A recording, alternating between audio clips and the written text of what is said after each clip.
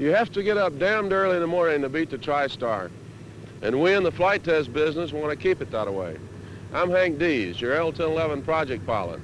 And we thought you'd like to know a bit of what we've been doing up here in the flight test program. We begin on the morning of February 16th with the first flight of ship number two.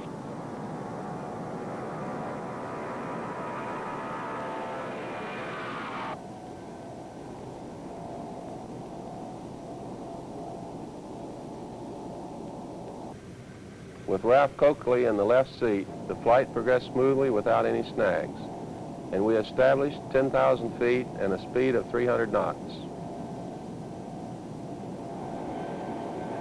On February the 24th, we had two TriStars flying together. At this time, we had 64 hours and 20 minutes flying time and 26 flights.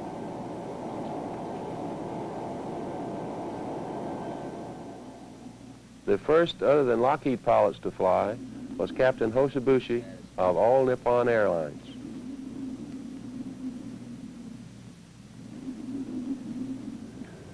During the flight, All Nippon were greatly impressed with the simplicity of our aircraft and the controllability of all systems.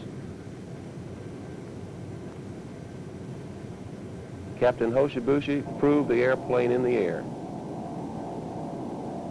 and he shot his first landings with gusty winds up to 35 knots. Captain Hoshibushi did a very good job of flying the airplane and commented that this is one of the best, simplest airplanes that he has flown. Early in March, Ship 1 was continuing into the performance program and into the flutter program. This onboard data acquisition system with onboard analysis assured that the flight was progressing as planned. The water ballast system enables us to vary CGs to obtain the most out of each particular flight. The flying tail on the airplane has been a joy to fly. On April the 4th, we ferried the airplane to Edwards Air Force Base for an early morning takeoff the next day at the maximum weight the airplane has been in the air. This was 404,570 pounds.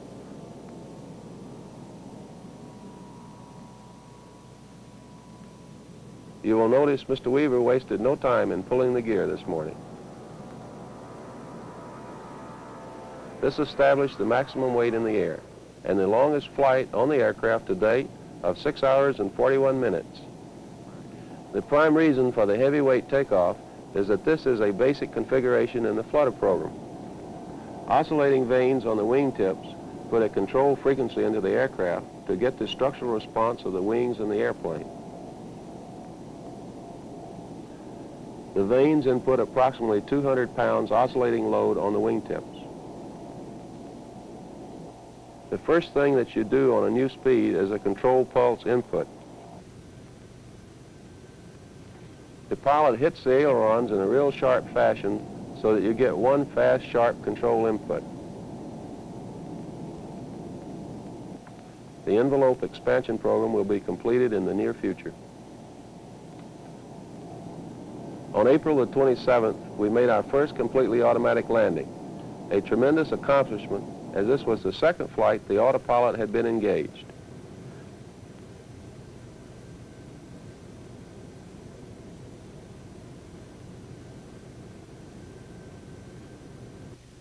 The airplane is intercepting a localizer for a hands-off auto approach.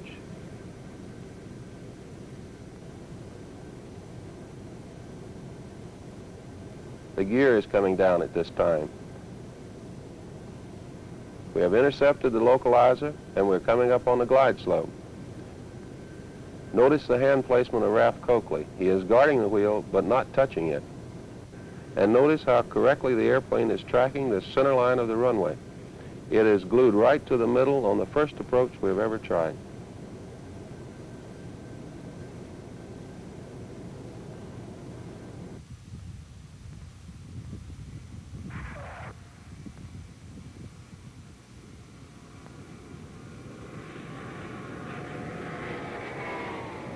In this stop, we are applying maximum braking with no thrust reverses. There is good anti-skid action on the left-hand tire, and the airplane is stopped in approximately 2,500 feet from touchdown. The braking system has proved itself to be quite good and very smooth to pilot application.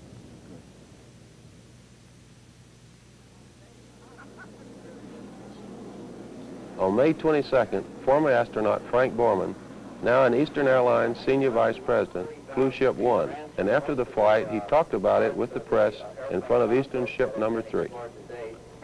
Colonel Borman, how did the L-1011 handle for you? From a pilot standpoint, it's uh, superior. Yeah, it's excellent visibility, handles well. The systems are extremely well laid out and simple. We spent about two hours uh, examining most of the uh, regions of the envelope that's already been explored, and it, it truly is a fine airplane. It responds very well, so that you can, uh, you can say the flight crews will be happy.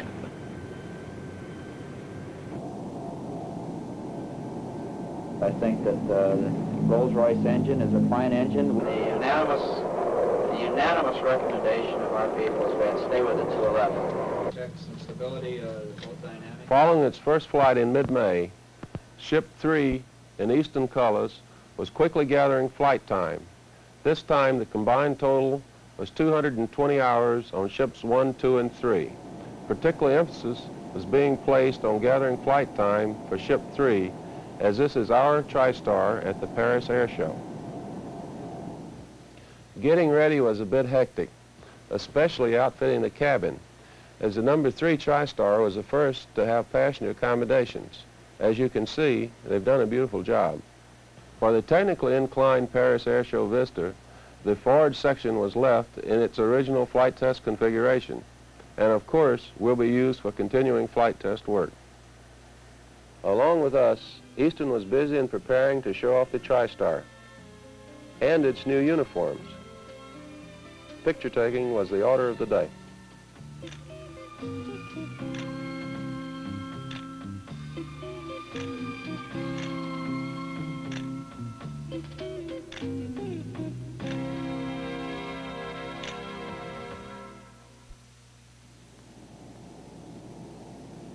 On May the 28th, Ship 2, with PSA officials aboard, demonstrated the ease of flight in and out of Hollywood Burbank.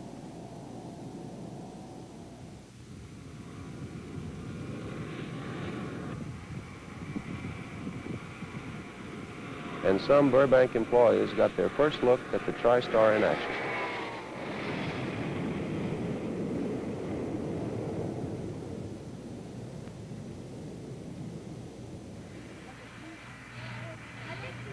On June the 8th, Ship 3 returned to Palmdale from the Paris Air Show.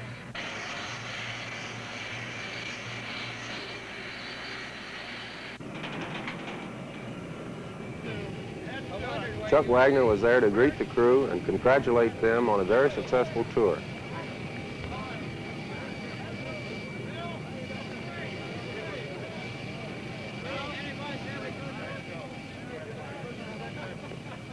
He described some of the highlights to employees and families there for the occasion. Ladies and gentlemen, and all those here associated with this program today, I'm sure are very, very proud another wonderful milestone in the history of Lockheed and the story uh, or the saga of TriStar 3. This crew has taken this airplane, flown to the Paris Air Show, where I can assure you it was an outstanding success. And those that witnessed the arrival of this plane at Paris, as did Bill Moran, myself, Lloyd Frisbee, a lot of other Lockheed people, really felt a great surge of enthusiasm and appreciation and, and a lot of inspiration to see that plane glide quietly over that very famous place where Lindbergh had landed many years before.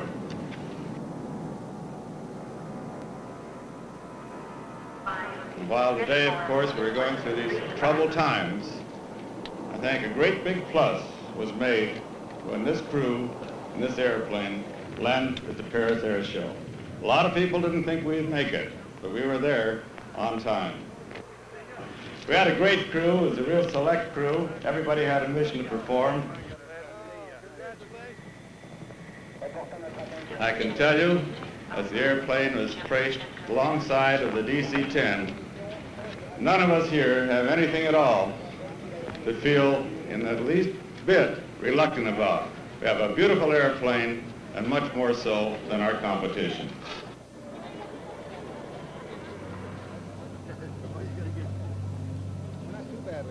We do uh, think that this is the first of the wide-bodied trijets to land on European soil. And we are most happy to welcome all of you to be with us uh, for this conference this morning. And I'd like to introduce the chairman of the board of Eastern Airlines, Mr. Floyd Hall, and have Floyd say anything that he would like to say to you this morning. Speaking for our company, this event here today, I think, validates an assumption that we made several years ago that this airplane with its particular engines would be one of the finest airplanes in commercial service. And we have never lost that faith.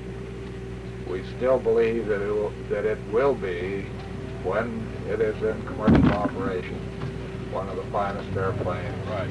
as far as the traveling public here is concerned. It moves on down. The engine's right in the center of the fuselage, which lets us keep this wider back here, therefore we can get more seats in. Uh-huh. Oxygen masks and all those will drop right out from the ceiling. When they come down, it looks like... You get me in the middle again. Good racket is going this time. Oh, it's great. It's great. These seats are a lot more comfortable than the ones we were riding in on DC-8.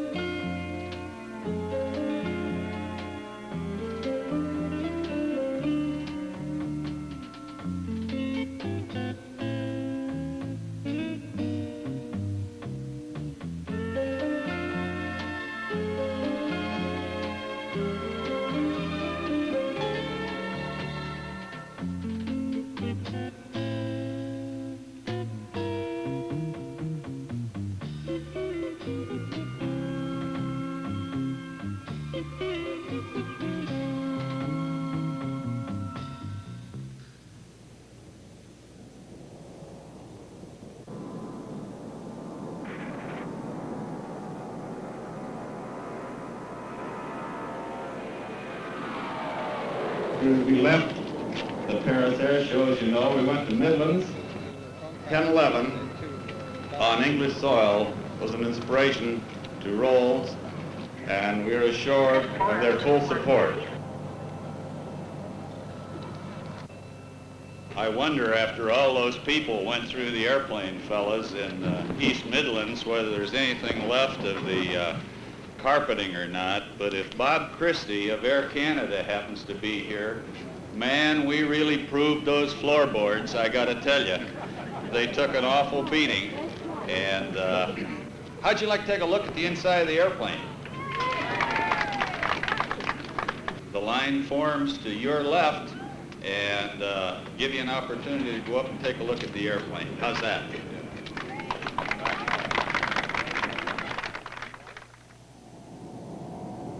With the envelope expansion program behind us, we have been conducting stall tests on Ship 1. The airplane has no surprises for the pilot and is smooth in a stall, either in the clean configuration or with the gear and the flaps extended. Notice the high angle attack, about 22 degrees. Minimum stall speed was approximately 100 knots.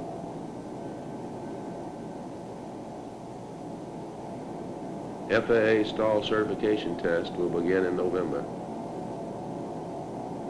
At Edwards Air Force Base, we began our minimum unstick speed test. With the flying tail, the aircraft can be rotated to a desired angle and held there with no difficulty right through the liftoff.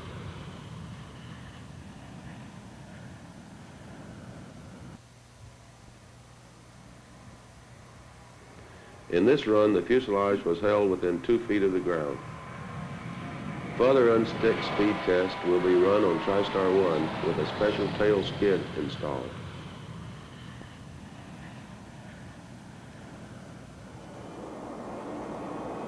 By early July, we had put over a thousand flight hours on the RB-211 engines.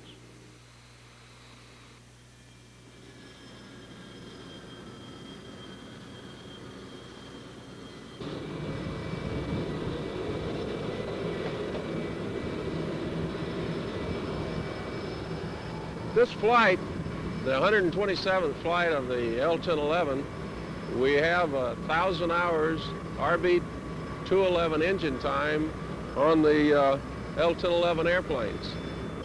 The RB-211 engines, the new engines that we have on this airplane now are the so-called three pluses, which give us a, a certificated level of thrust. We're operating this airplane now with the engines to uh, equivalent of the certificated thrust level that we will have when we get a ticket on the engine. The handling characteristics of the uh, engine from a pilot standpoint have been uh, extremely well received by all the guys who have flown the airplane. We all know the TriStar is quiet, but we had to find out just how it measured up to the FAA noise regulations. With the quiet desert as a background and this sensitive sound recording equipment, we were able to obtain accurate noise level data.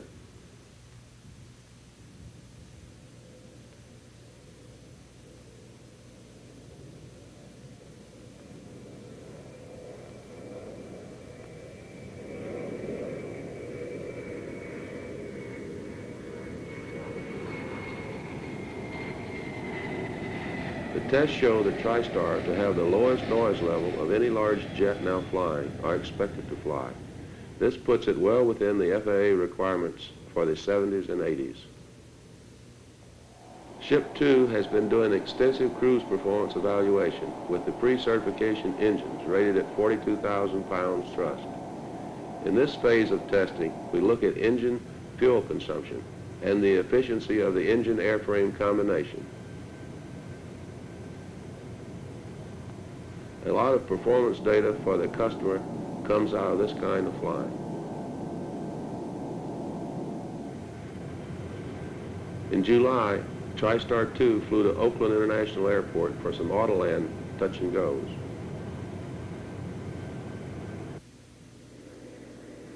On the way up, we went by Moffett Field and LMSC to give the missiles people a look at the L-1011.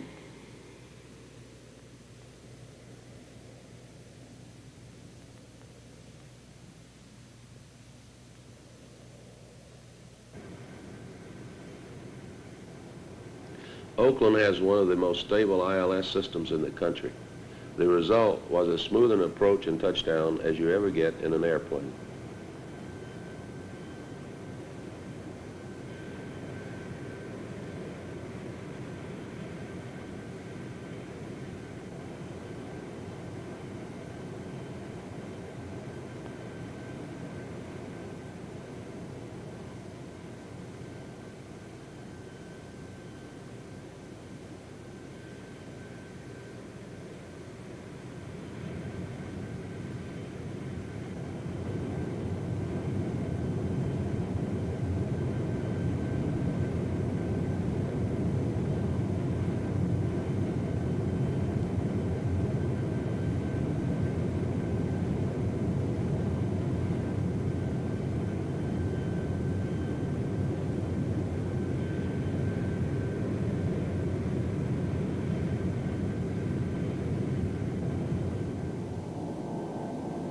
TriStar 1 is entering the air loads testing, and we've hung a 21-foot gust boom on the nose of the airplane.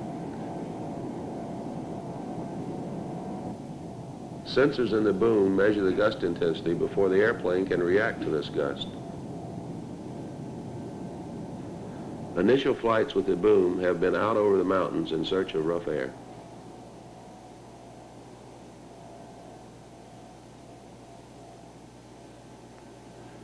We figured the L-1011 would be a popular airplane, and Paris and Derby proved that it is. In early August, we got another chance to show our TriStar.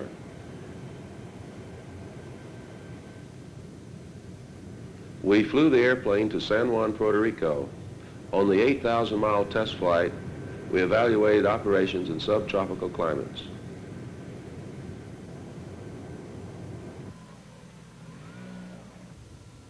It was hot and humid, but that didn't keep our 20,000 visitors from coming out to take a look.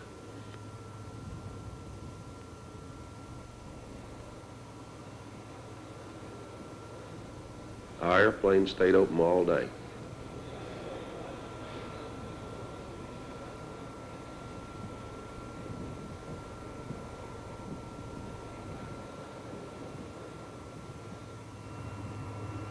At Miami, some 4,000 Eastern Airlines people got a special preview of the TriStar, and Captain Mike Finello, Eastern's Vice President of Operations Coordinator, told the press how the 1011 would help their passenger business.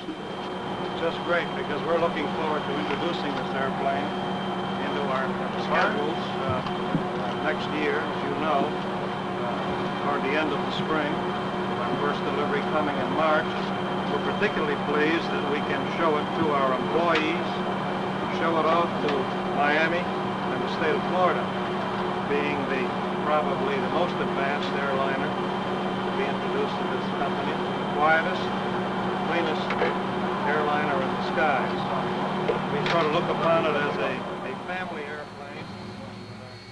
On the way home, we swung by the Georgia Company, where the 1011's wing was designed and its empennage is built.